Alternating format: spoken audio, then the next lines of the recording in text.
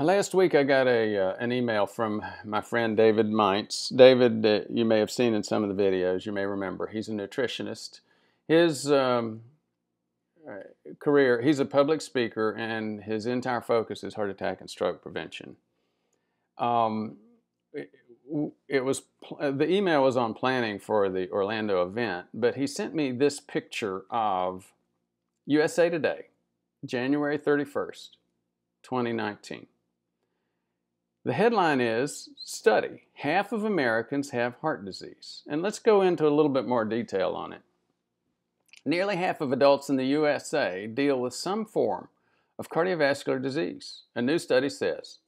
It was driven largely by changes in guidelines for classifying high blood pressure. Um, according to this study from the American Heart Association, 121.5 million Americans, or about 48.5%, dealt with heart attack or stroke or heart attack or blood vessel disease as of 2016. The study says deaths from cardiovascular disease rose from more than 836,000 in 2015 to 840,000 in 2016. So,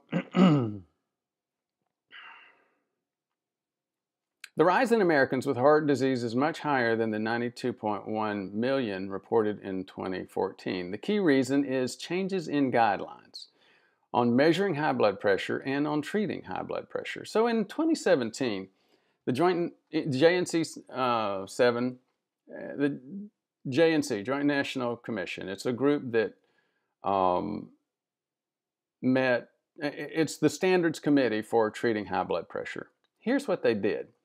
Before uh, the, the most recent, prior to November of 2017, was 2003.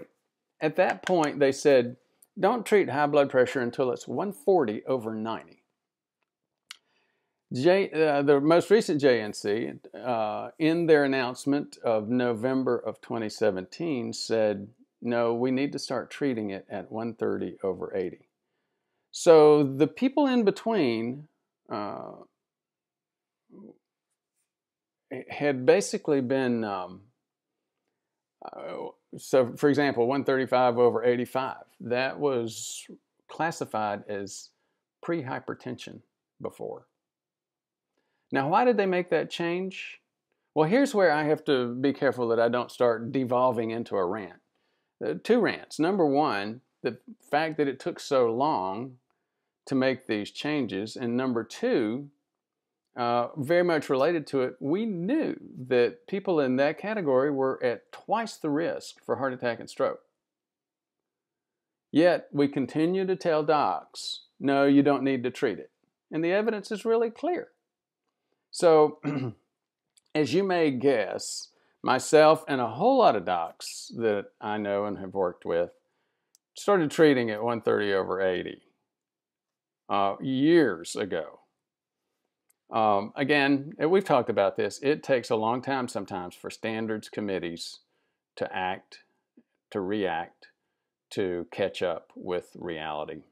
Uh, so, some more things about the, uh, the article. When cases of high blood pressure are removed, the prevalence of cardiovascular disease among Americans is 9% or 24.3 million. So, as you can see, what? 30, 39, 40% of, of this half of Americans have heart disease. The vast majority of it, three quarters of that half, is um, just high blood pressure. Well, when I say just high blood pressure, again, high blood pressure is critical as a risk factor for heart attack and stroke. And here's the other thing that this alerted me to. I've got a heart attack and stroke channel, uh, prevention channel, and I don't have a lot of videos on high blood pressure. So we're going to have to start doing some uh, we're going to dig into some details on this over the next uh, next few weeks. now, I did go to find the uh, this on the actual website or, or on the web for the uh, the USA Today, and as you can see, too, I had too many. Um, it was death by pop-ups. I couldn't get anything done, so I went back That's why I used the uh, the picture from David. The one thing I did get from this uh, this web view was again verification January 31st, 2019, USA Today. Now, uh, real quick, well, this is from Harvard Health, and they're saying they're setting out another clarification, trying to put it here so we uh, can understand clearly um, what's going on. High blood pressure, 140 over. I, am going to jump. Well, okay, let me let, let's do the, the the numbers. Normal is a systolic of less than 120 and a diastolic of less than 80. Elevated is 129, 120 to 129 and uh, less than 80. High blood pressure is 130 to 139 or 80 to 89. And then uh, stage two is 140 or higher and 90 or higher. So in the past, a major component, a way, or see, a way of seeing the change was that this last JNC, this last standards committee, impacted that orange uh, category in the middle.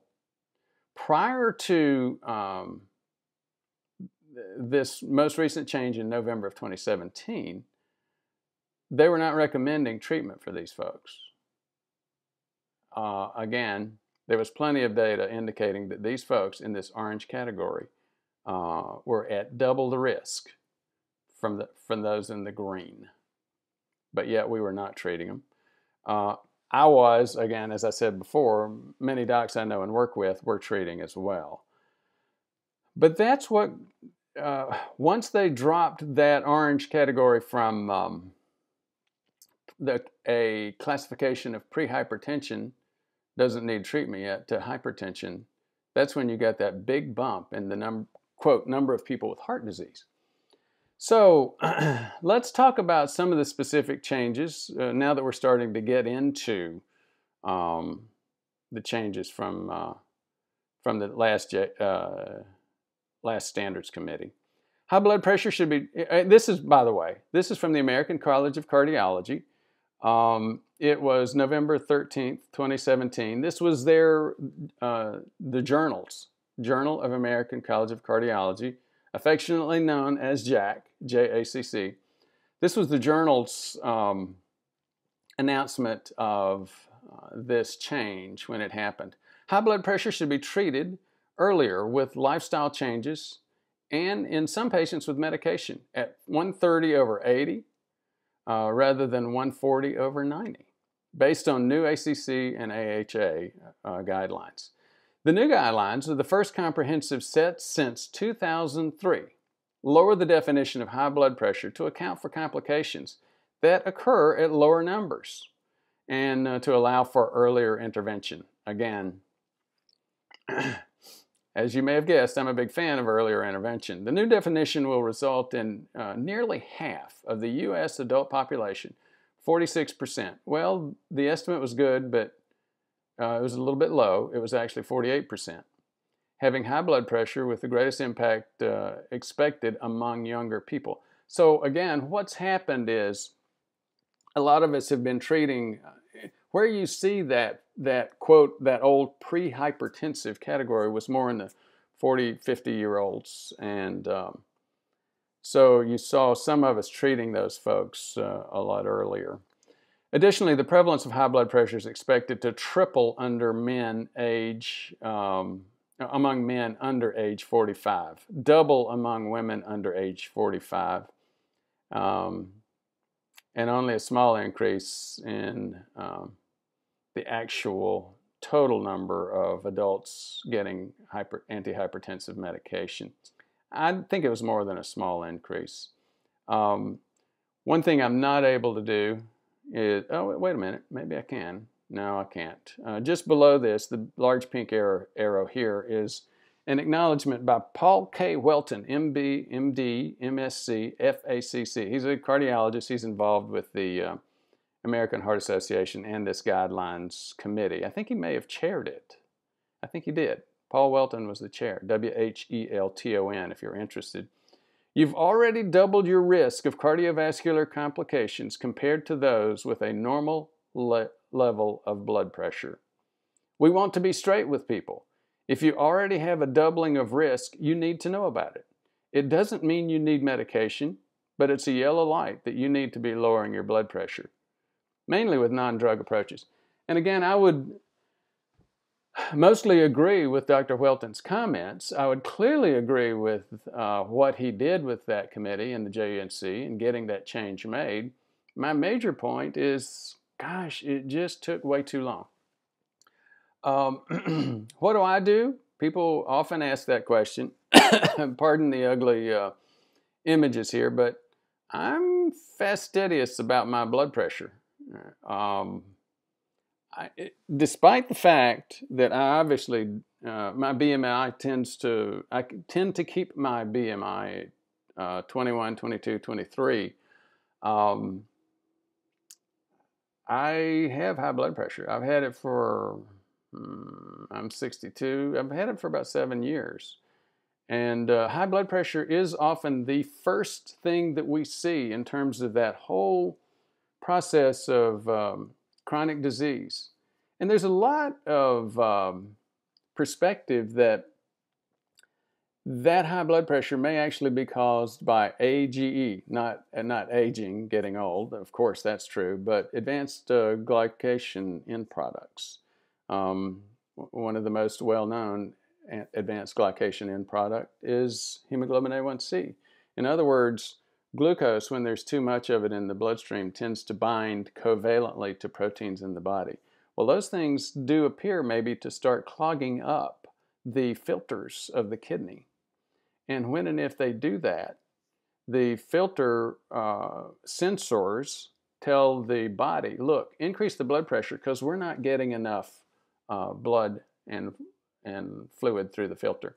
Pardon the, the digression. I went there because it's interesting, and I do think a lot of people uh, would be um,